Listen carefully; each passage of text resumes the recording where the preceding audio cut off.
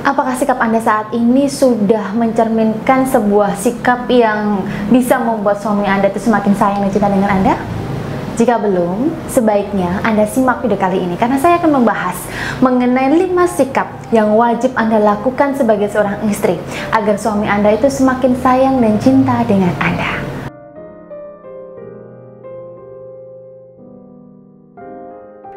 Baik, mungkin uh, selama ini Anda kurang menyadarinya ya, atau kurang memahami. Sebenarnya ada nggak sih sikap-sikap saya sebagai seorang istri agar suami saya itu semakin sayang dan cinta dengan saya?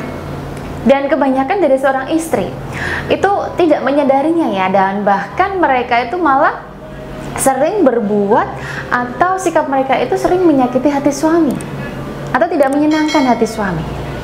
Nah, lantas sebenarnya apa sih yang harus dilakukan seorang istri? agar dia itu bersikap atau bertingkah laku yang bisa membuat hati suami itu senang, hati suami itu bahagia atau bangga memiliki istri seperti Anda dan semakin sayang dan cinta dengan Anda? Nah, simak video kali ini ya, karena saya akan membahasnya khusus untuk Anda. Yang pertama nih, uh, yang harus dilakukan sebagai seorang istri adalah dia itu harus memiliki sikap yang bertanggung jawab. Bertanggung jawab atas tugas dia sebagai seorang istri. Karena ada loh sahabat saya dari pengalaman dari uh, sahabat saya ya. Dia itu mengeluh bahwa istrinya itu tidak bertanggung jawab dengan tugasnya sebagai seorang istri. Ya memang dia seorang pekerja. Istrinya sebagai seorang pekerja juga sama-sama bekerjanya lah. Tapi uh, tugas sebagai seorang istrinya itu tidak pernah dikerjakan dengan baik seperti mengurus rumah, seperti memasak buat suami, seperti uh, seperti ya melayani suami dengan baik lah dan lain sebagainya. Banyak sekali tugas-tugas yang disepelekannya. Dan sahabat saya tersebut itu mengeluh pada saya bagaimana sih Bu Ratu agar istri saya itu bisa menjadi seorang istri bertanggung jawab dengan tugasnya. Nah, dari beberapa keluhan-keluhan tersebut, di sini saya bisa menyimpulkannya bahwa sikap seorang istri yang tidak mau bertanggung jawab atas tugasnya sebagai seorang istri itu sangat dibenci oleh suami Nah, kalau Anda ingin membuat suami Anda itu semakin sayang dan cinta dengan Anda, bahkan bangga menikah dengan Anda atau bahagia menikahi Anda, harusnya Anda sebagai seorang istri bertanggung jawab dengan tugas Anda. Ya walaupun Anda memiliki banyak uang ya, memiliki banyak kedudukan, tapi kalau sebagai seorang istri bertugas dengan baik, melayani suami dengan baik, merawat rumah dengan baik, merawat anak-anak dengan baik, suami Anda akan semakin sayang dan cinta dengan Anda. Yang kedua, di sini uh, tidak suka menuntut atau menerima lah atau bersyukur dengan apa yang diberikan suami anda kepada anda karena ada loh ada menurut pengalaman uh, berdasarkan pengalaman saya ya saya lihat itu uh, kebanyakan para istri itu selalu menuntut suaminya saya kepengen rumah saya kepengen mobil saya kepengen uh, perhiasan berlian dan lain sebagainya saya iri dengan keluarga yang di sebelah sana saya iri dengan tetangga kita Kenapa kamu tidak bisa memberikan saya seperti itu? Kenapa saya menikah dengan orang seperti kamu? Banyak sekali seperti itu.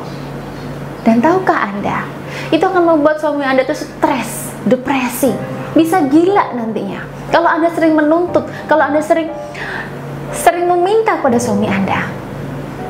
Cobalah mulai dari sekarang menerima dengan apa yang suami Anda berikan dan selalu bersyukur, berdoa kepada Tuhan agar suami Anda itu dimudahkan rezekinya, agar rumah tangga Anda itu selalu dimudahkan rezekinya dan kehidupan Anda jauh lebih baik.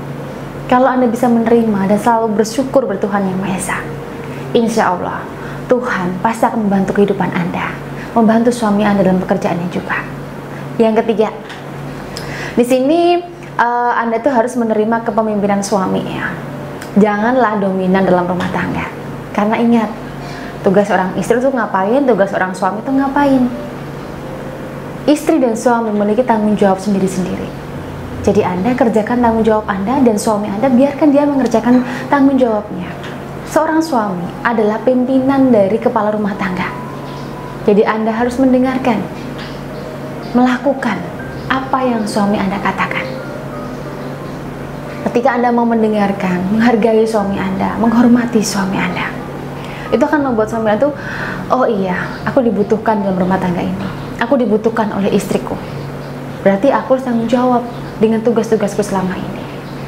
Kalau Anda bersikap seperti itu, saya yakin suami Anda itu akan semakin sayang dan cinta dengan Anda, semakin sayang dan cinta dengan Anda.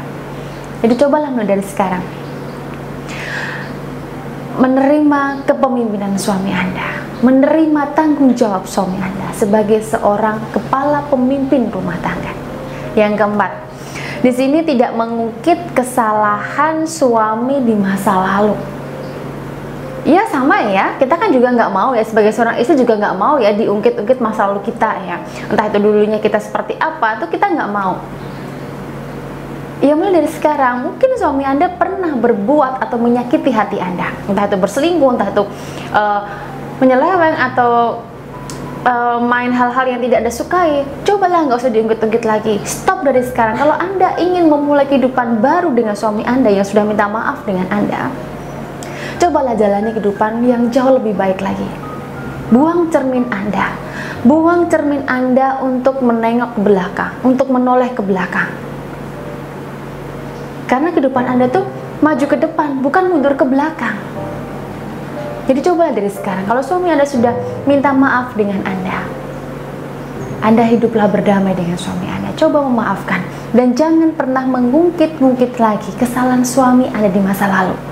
Karena ketika Anda mengungkitnya, suami Anda akan benci dengan Anda, semakin marah dengan Anda. Karena pernah dari pengalaman sahabat saya, uh, sahabat saya itu suami itu berselingkuh ya. Suami itu berselingkuh kemudian dia sudah minta maaf dan berjanji lah nggak akan melakukannya lagi.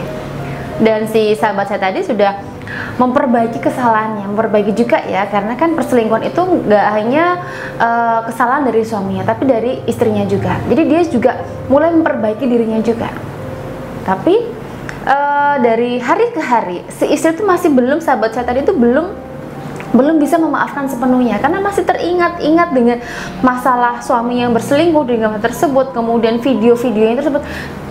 Sahabat saya itu mengungkit-ungkitnya kembali. Hampir setiap hari diungkit. Dan itu membuat suami itu stres.